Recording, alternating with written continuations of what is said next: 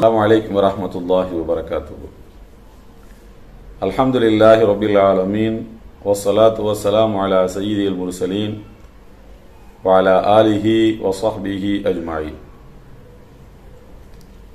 அன்பார்ந்த அல் ஹிதாயா கிரைடான் வாழ் சகோதரர்களே புனிதம் நிறைந்த ரமலான் மாதத்தின் எல்லா பாக்கியங்களையும் எல்லா அருள்களையும் எல்லாம் வல்ல அல்லாஹ் நம் அனைவர் மீதும் என்றும் பொழிந்தருள்வானாக. அருமையான சகோதரர்களே புனிதமிக்க ரமதான் மாதத்துக்கும் அருள்மறையாம் திருக்குரானுக்கும் நெருங்கிய தொடர்புண்டு. இந்த மாதத்தில் தான் அருள்மறையாம் திருக்குரான் இறக்கியுள்ளப்பட்டது.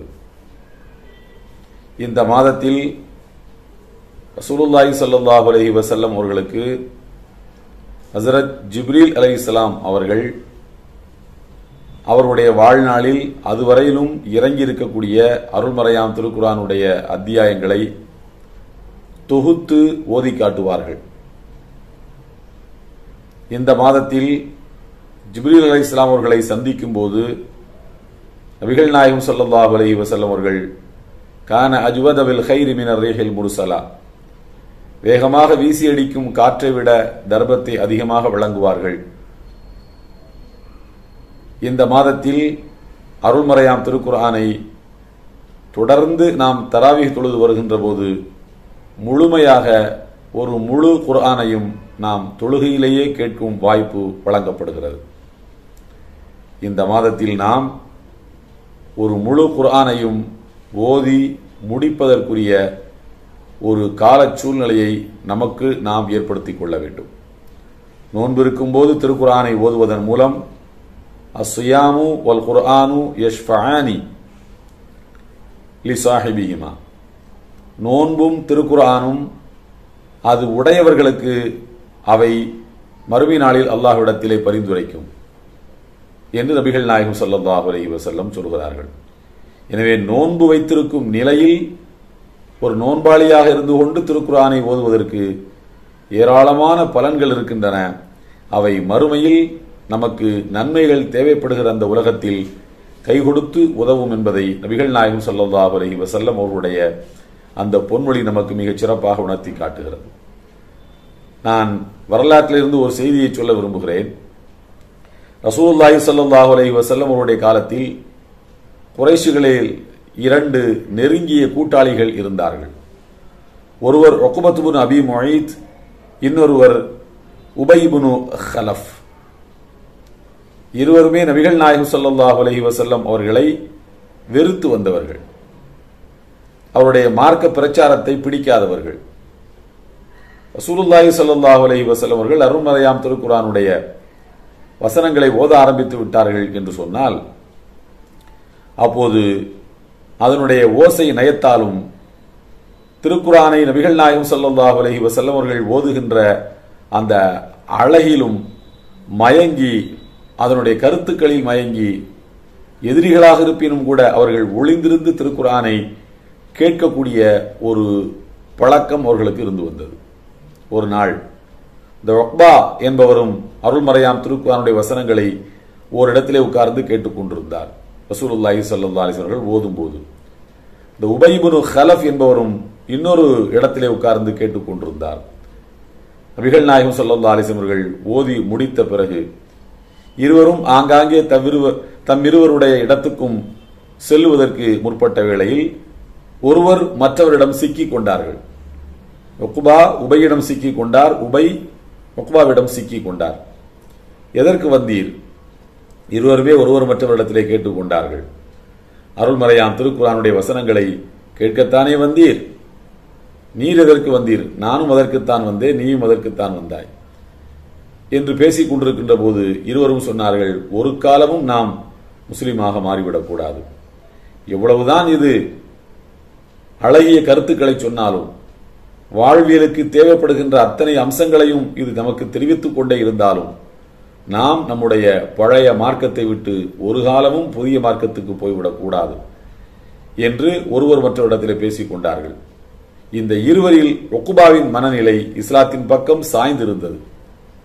உபைபுனு ஹலஃபினுடைய மனநிலை ஐம்பது சதவீதத்துக்கும் கீழாக அது இருந்தது. அதாவது இறை மறுப்பின் பக்கம் சாய்ந்திருந்தது. ஒக்குபாவினுடைய மனநிலையை பார்த்த உபை சொன்னார் நீ கீழே துப்புகின்ற வரையிலும் நீங்கள் இஸ்லாத்துக்கு போவீர்கள் என்கிற நம்பிக்கையை நான் இழக்க மாட்டேன். தூ இதெல்லாம் ஒரு வேதமா என்று நீங்கள் தரையிலே துப்ப வேண்டும். அல்லது துப்புவது போல ஒரு பாசாங்கை வெளிப்படுத்துவது. இப்படி நீ வெளிப்படுத்தினால்தான் அந்த மார்க்கத்துக்கு நீ போக மாட்டாய் என்று நான் கருதுவேன். அதுவரைக்கும் உன் மீது எனக்கு சந்தேகம் இருக்கும் என்று சொன்னார். ஒகுபாவோ உபை உபை மீது கொண்டிருந்த அந்த பாசத்தின் காரணமாக இருவருமே பாலிய காலத்து நண்பர்கள். சிறுவயது முதலே இருவரும் இருவரும் கூட்டாளிகள். இருவரும் சேர்ந்துதான் ஒரு முடிவை எடுத்து பழக்கம் உள்ளவர்கள் இப்படிப்பட்ட நிலையில் உக்பாவுக்கு இஸ்லாத்தின் மீதான அன்பும் காதலும் இருந்தது. ஆனால் உபைக்கு குஃப்ரின் மீதுதான் இறை மறுப்பின் மீதுதான் காதல் இருந்தது. உபை இப்படி சொன்னவுடன் உக்பாவும் வேறு வழியில்லாமல் அவர் அன்புக்கு கட்டுப்பட்டவராக அவர் இஸ்லாத்தை ஏற்றுக்கொள்ளாத ஒரு நிலைக்கு செல்வதென்று முடிவெடுத்து விட்டார். இஸ்லாத்தை ஏற்றுக்கொள்ளலாம் என்கின்ற அந்த எண்ணத்தை அவர் பின்னுக்கு தள்ளிவிட்டார். இதை பற்றி எல்லாம் வல்ல அல்லாஹு தாலா அருள்மறையாம் திருக்குறானில் சொல்கிறான் இவர்கள் இருவரும் மறுமை நாளில் எப்படி இருப்பார்கள்? குறிப்பாக இஸ்லாத்தை ஏற்றுக்கொள்ள வேண்டும் என்று முடிவெடுத்த பின்னர் அதிலிருந்து தடம் மாறி போனாரே நட்புக்காக உபையினுடைய அந்த பாசமிகுந்த வார்த்தைகளுக்காக அல்லது வைராக்கியத்தை வெளிப்படுத்தக்கூடிய அந்த உபையின் வார்த்தைகளுக்கு தன் எதிர்காலத்தை எப்படி அவர் இழந்தார் என்பதை பற்றி அல்லாஹ் சொல்லி காட்டுகிறான். சுரால் ஃபுர்கான் இருபத்தி ஐந்தாவது அத்தியாயம் இருபத்தி ஏழு இருபத்தெட்டு இருபத்தி ஒன்பது முப்பது ஆகிய நான்கு வசனங்கள். பாருங்கள் எதைஹி அந்நாளில் அந்த அக்கிரமக்காரன் தன் கைகள் இரண்டையும் கடித்துக் கொள்ளுவான்.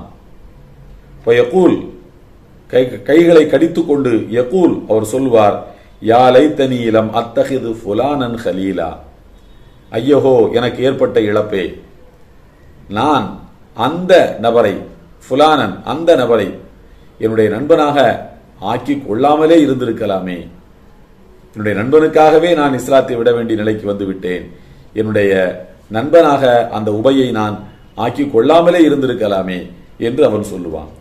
ஏனென்றால் லகது அல்லல்லனி அனி திகிர் இந்த திருக்குறானை செவிமடுக்காமலும் இந்த திருக்குறான் காட்டுகிற வழியில் நான் செல்லாமலும் என்னை திசை மாற்றியவனே அவன்தான்.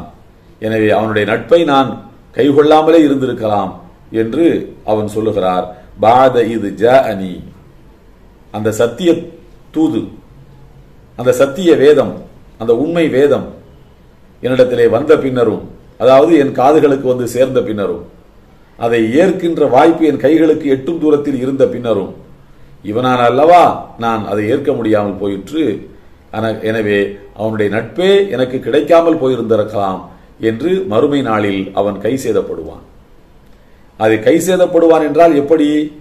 தன்னுடைய கையின் விரல்களை கடித்துக் கொள்வானாம். இப்படி ஆகிவிட்டதே இப்படி ஆகிவிட்டதே என்று கை சேதத்தை வெளிப்படுத்த கையின் விரல்களை கடிக்கிற பழக்கம் மனிதனுக்கு உண்டு. அல்லாஹ் சொல்கிறான் அவன் கை சேதத்தினுடைய இழப்பினுடைய உச்சத்தில் அவன் இருப்பதன் காரணமாக அல்லாஹ் சொல்கிறான் அவன் கையையே கடித்துக் கொண்டான் என்று. கையில் இருக்கின்ற ஒரு விரலைத்தான் அவர் கடித்தார். ஆனால் அவர் கையையே கடித்துக் கொண்டார் என்று சொல்கிறான் மட்டுமல்ல இரண்டு கைகளையும் கடித்துக் கொண்டார். யோமய ஆல்தொல்லாலிமு அலா எதைஹி தன் இரண்டு கைகளையுமே அவர் கடித்துக் கொண்டார் என்று அல்லாஹ் சொல்கிறான். அவ்வளவு அவர் விரக்தியின் உச்சத்தில் அவர் மாட்டிக்கொண்டார் மறுமையிலே. இப்போது கான ஷைத்தானுலில் இன்சானி ஹதூலா. அல்லாஹ் சொல்கின்றான் ஷெய்தான் இப்படித்தான் மனிதனை ஏமாற்றுகிறான். உனக்கு இந்த மார்க்கம் பெரிதா நட்பு பெரிதா? அவன் எவ் எவ்வளவு அன்பு வைத்திருந்தான் உன் மீது? உனக்கு ஆபத்துக்கள் வந்தபோது எவ்வளவு உதவினான்?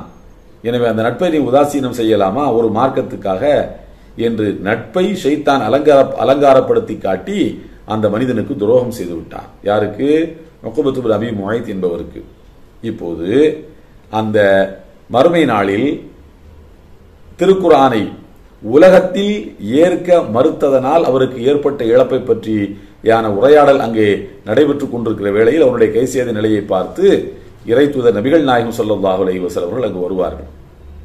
வந்து அல்லாஹிடத்திலே சொல்வார்கள் யார் ரப்பி இறைவா இன்ன கௌமி இத்தகது ஹாதல் குர்ஆன மஹ்ஜூரா. இந்த என்னுடைய சமுதாயம் திருக்குறானை கைவிட்டு விட்டது. திருக்குறானை ஒதுக்கி வைத்து விட்டது. எனவே இந்த சமுதாயம் திருந்தவில்லை என்று அல்லாஹ்விடத்திலே சொல்வார்கள் என்று அந்த திருக்குறானுடைய அடுத்தடுத்த வசனங்கள் போகின்றன. இந்த வசனத்திற்கு விளக்கம் அளிக்கின்ற அல்லாமா பேரறிஞர் இபுனுல் கையும் ரமஹுல்லா அவர்கள் தன்னுடைய கிதாபுல் ஃபவாயித் அல் ஃபவாயித் என்கிற நூலில் திருக்குரானை வெறுத்தல் என்றால் என்ன? திருக்குரானை கைவிடுதல் என்றால் என்ன? என்று அவர்கள் சொல்லுகிறார்கள். அதிலே ஐந்து வகையான அடுக்குகளில் ஐந்து அடுக்குகளாக ஒரு மனிதன் திருக்குறானை கைவிடுகிறான் என்று விளக்கம் அளிக்கிறார்கள் அல்லாஹ் பாதுகாக்க வேண்டும். இந்த ஐந்து அடுக்குகளில் எதுவும் நம்முடைய வாழ்வில் நம்மோடு வந்து ஒட்டி கொள்ளாமல் நம்மை நாம் பாதுகாத்துக் கொள்ள வேண்டும். அந்த ஐந்து அடுக்குகள் என்ன? முதலாவது ஹஜுரி சிமாயிஹி வல் இமானி பிஹி வல் இஸ்காவி இலைஹி. திருக்குறானை கேட்க மறுப்பது. அதற்கு யாரேனும் ஓதினால் செவி தாழ்த்த மறுப்பது. எதையோ ஓதிக்கிட்டு இருக்கான் நம்ம அடுத்த வேலையை பார்ப்போம் என்று அதை கேட்க மனமில்லாமல் புறக்கணிப்பது. இது முதலாவது ஸ்டெப்பு. இரண்டாவது அடுக்கு எதுவென்றால் ஹஜுருல் அமலி பிஹி வல் ஒக்கூஃபி என்ற ஹலாலிஹி வ ஹராமிஹி. திருக்குறானிடத்தில் தன்னை ஒப்படைத்துக் கொள்ள மறுப்பது. உன்னுடைய சிந்தனை ஓட்டம் ஒரு மாதிரி இருக்கிறது. திருக்குறானுடைய அறிவுரை வேறு மாதிரி இருக்கிறது. உறவுகளை சேர்ந்து வாழ் என்கிறது. உன்னுடைய சிந்தனை ஓட்டமும் அவனெல்லாம் மனிதனா என்று தோன்றுகிறது. அப்படியானால் திருக்குறானுக்கு முன்னால் உங்களை நீங்கள் ஒப்படைத்துக் கொள்ள வேண்டும்.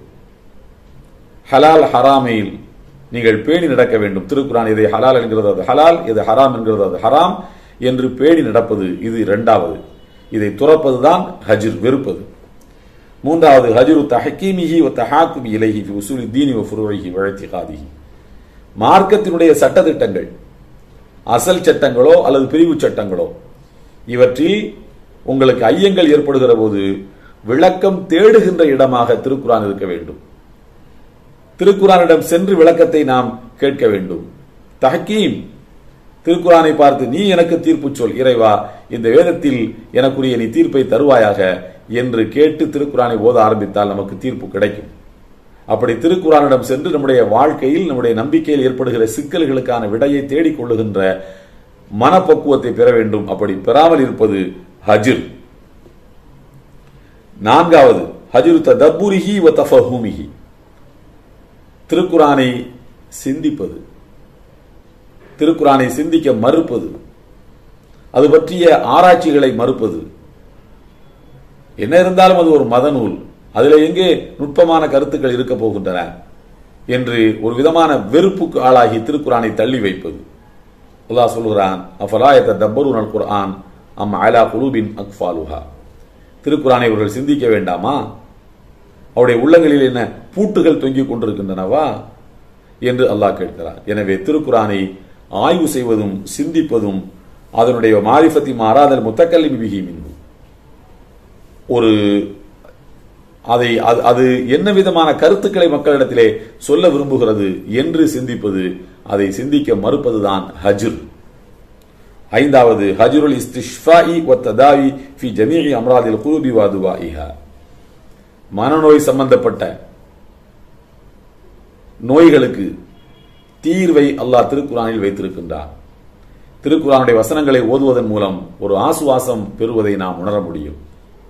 இறைவனுடைய நெருக்கத்தை பெற்றதை போன்ற ஒரு ஆழ்மன எண்ணம் நம்முடைய உள்ளத்தில் தோன்றும். எனவே மன நோய்களுக்கு தீர்வாக அருள்மறையாம் திருக்குறான் இருக்கிறது. அது நம்முடைய நமக்கு உத்வேகத்தை தரும்.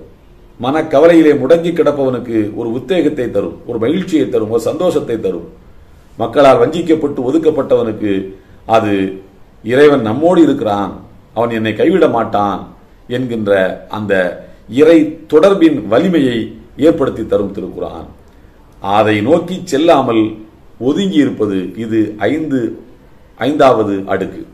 இப்படி ஐந்து வகையாக திருக்குறானோடு ஒரு மனிதன் தொடர்பில் இருக்க முடியும். இந்த ஐந்து வகை அடுக்குகளையும் யார் வெறுக்கிறாரோ அவரைத்தான் அவரைத்தான் நபிகள் நாயகம் ஸல்லல்லாஹு அலைஹி வஸல்லம் அவர்கள் மறுமையில் அல்லாஹ்விடத்தில் இன்ன கௌமி ஹாதா இன்ன யாரப்பி இன்ன கௌமி தகது ஹாதல் குர்ஆன மஹ்ஜூரா. என் சமுதாயம் இந்த சமுதாயம் தான் திருக்குறானை வெறுத்த சமுதாயம் என்று அல்லாஹ்விடத்திலே மன்றாடுவார்கள் சொல்லுவார்கள். அப்படிப்பட்ட அந்த குற்றச்சாட்டுக்கு மறுமையில் ரசூலுல்லாஹுவால் குற்றம் சுமத்தப்படக்கூடிய அளவுக்கான ஒரு இழிவான நிலையை நாம் அடைந்துவிடக் கூடாது. அதற்காக ரமலானிலும் நாம் அருள்மறையாம் திருக்குறானோடு நெருங்கிய தொடர்பில் இருப்பதைப் போல ரமலான் நம்மை விட்டு விடை பெற்ற பின்னரும் அந்த தொடர்பை நாம் வலிமைப்படுத்திக் கொள்ள வேண்டும் தொடரச் செய்ய வேண்டும். எல்லாம் வல்ல. அல்லாஹத்தில் அப்படிப்பட்ட உயர்ந்த உணர்வுள்ள மக்களாக நம் அனைவரையும் ஆக்கியருள் புரிவானாக. வாகிறது அவானான் அலமதுல்லாஹி ரபில்லா அலமீன் அஸ்லாம் அலைக்கும் வரஹ்மத்துல்லாஹி வபரகாத்து